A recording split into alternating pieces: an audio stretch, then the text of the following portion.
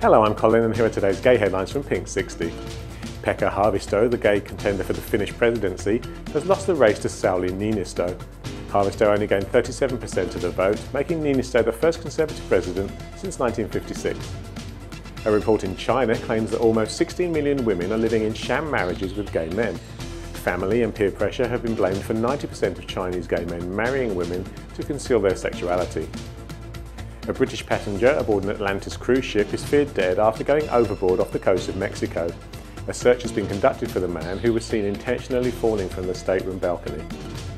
The Sydney Morning Herald has accused the Mardi Gras Film Festival of intending to show pornography at this year's event. None of the films have yet been rated, but one of them has already been shown at the Tate Modern Gallery. And finally, Madonna put in a fantastic performance at the Super Bowl halftime show last night.